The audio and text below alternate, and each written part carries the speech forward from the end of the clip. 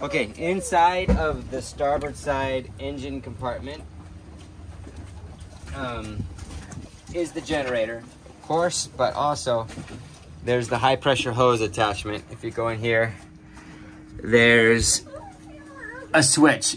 Right now it's on and it's labeled on and now off on. And this also goes from seawater if you pull it this way or fresh water if you push it this way. Right now we have it on fresh water and it's on. I'm gonna turn it off. At all For the high pressure hose, um, it's just a quick disconnect. Push this ring, stick that in there, and voila. We have this to connect to that, and then the yellow hose connects to that, and you're good to go. Um, up here is the is the deck shower. You flip it up to turn it on, and you can adjust the temperature like that. Um, it- you have to keep it off, otherwise it slowly leaks inside the engine compartment. And this lid is broken.